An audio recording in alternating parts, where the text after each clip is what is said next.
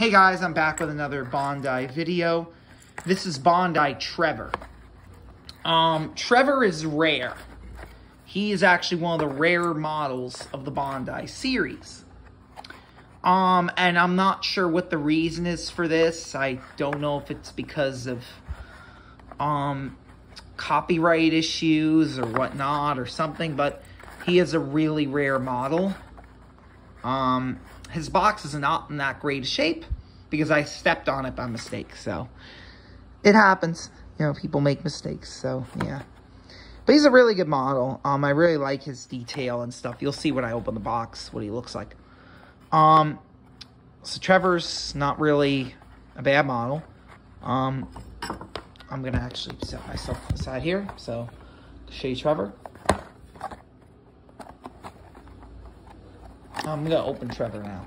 Now, the one thing I do like about Trevor is he seems like an interactive model. Like if you look, he has he does have a little bit of a broken piece here, unfortunately, and a lot of the times that's frequently broken. But these aren't broken; these are intact.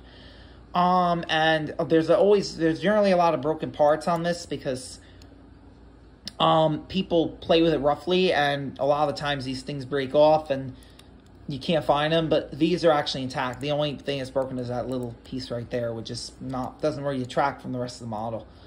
But yeah, he's really nice. If you move him, it's not going to work that well. But if you move his wheels, his thing move, his uh, wheel moves, like right there.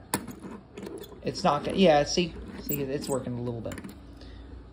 But yeah, um, other than that, I mean, Trevor's really nice. He was featured in the Evers catalog, so they were gonna make him, but unfortunately he was canceled, like a lot of the rest of the Bandai models that they made.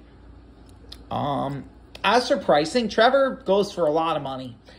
I mean, normally Trevor would be 50 or 60 bucks um, on eBay, and that's just the normal price. I mean, you're, you're not going to get him for any really any less than that. I mean, you might get lucky and find him for 30, but it's not very likely because for some reason Trevor is just a really rare model. I don't know why.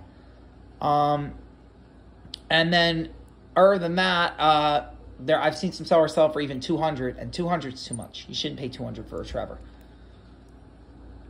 But Trevor is a rare model, and it is worth paying at least 50 bucks for it.